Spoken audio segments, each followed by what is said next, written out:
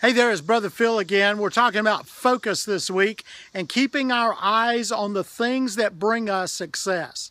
You know, if you look behind me, you see a lot of clay and not a lot of grass. And you know, eventually we want to have grass in this yard, and, and this isn't my home yard, this is the yard back behind the church. But you know, we eventually want it to look like the field way back behind me. I'm going to walk back and so maybe you can see a little bit of that field behind us. And we want to be green and, and rolling and beautiful. But we've had new construction. You know, there are times of, of our life when we have new things that come into our life and it brings upheaval.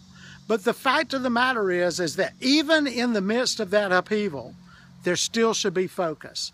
You still need to keep your eye on what it is that brings success. And in the middle of the upheaval, in the middle of the change of our life, we keep our eye on the prize. We keep our eye on the goal. Don't let that building or don't let whatever it is that has come into your life to bring about change change your idea of what success is.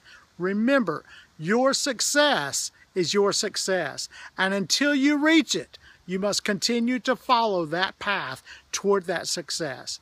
I hope you find and remember and realize the path to success every step of the way. I hope you don't lose sight of what that success is and that you will keep the marker in front of you.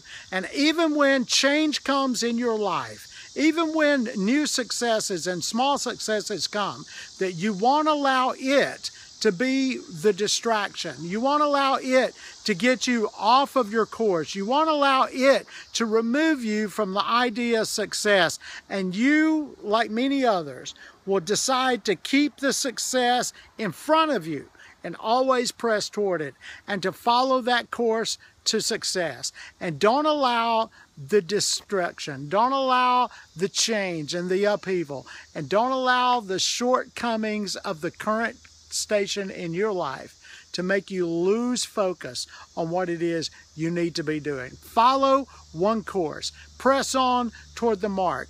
Keep running the race. Make the prize the prize and celebrate every step along the way. God bless you. I hope you have a great day.